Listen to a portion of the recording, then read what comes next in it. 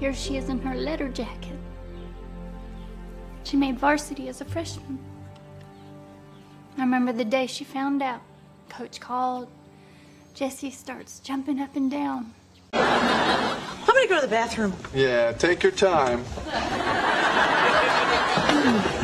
you know, j- just so you know, I was a freshman and she was a senior, so it wasn't as bad as. as Look, I know I've been giving you a lot of jabs, and it's partly because I'm very protective of Lizzie and much I liked her. I don't know what you're talking about. Really? Remember that big party freshman year, a week before Christmas vacation?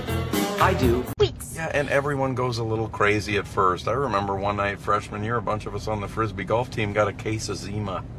Enough Zed. More than enough. In English vocabulary, we will learn the word freshman.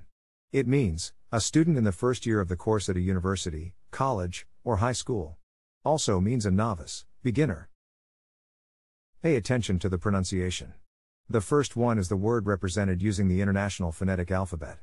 To pronounce freshman, have in mind that the size of the syllable indicates where the accent or stress is. In this case, the accent is in the first syllable, corresponding to fresh. Below are other ways to pronounce it. Now, let's see how freshman is used in real life. She made varsity as a freshman. You know, j- just so you know, I was a freshman and she was a senior, so it wasn't as bad as. as look, First week, freshman year, I was playing basketball. He showed up with. Really? Remember that big party freshman I remember one night freshman year, a bunch of us on the frisbee. We were roommates freshman year. So your mom tells me you're interested in boxing. Take the test at accent101.com to find out si sabes inglés o hablas inglés.